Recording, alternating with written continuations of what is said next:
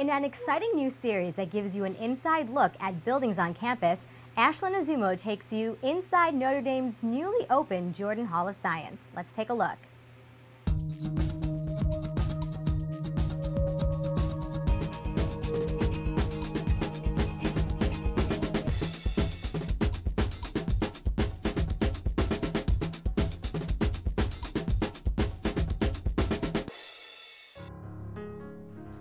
Offering over 200,000 square feet of floor space and created from over 500,000 bricks, Jordan Hall of Science features 40 labs, two 250 seat lecture halls, an observatory, 22 offices, a greenhouse, a museum, and a digital visualization theater.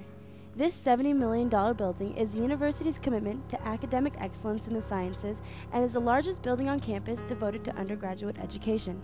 The main hall stretches across the length of the building, all four levels can be seen from this hallway, lit with natural light beaming from the floor to ceiling windows.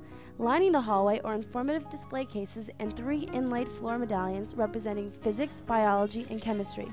The museum, auditorium, planetarium, and some laboratories can all be accessed from the main hallway.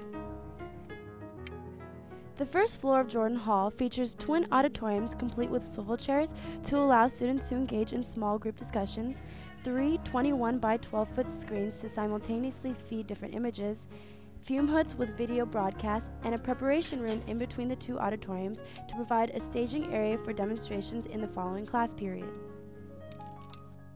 The Digital Visualization Theater boasts a Sony SRX 110, which beams high resolution images on a 50 foot high dome ceiling, allowing the 136 theater style seats to lean back and enjoy the 360 degree visual experience.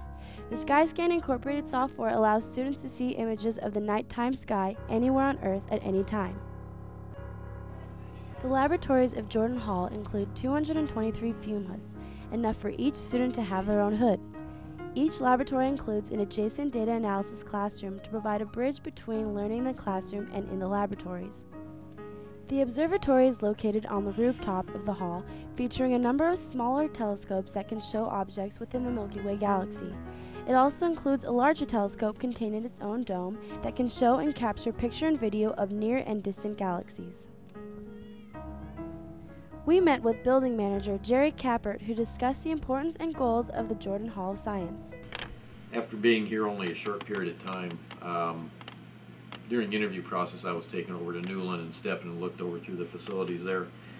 And I noticed being those are um, probably 50, 60 years old or older that uh, space is very limited for uh, growth of the class sizes. Um, some of those here now, like the uh, the uh, early chemistry classes are over 200 in, in size in some of the lecture halls.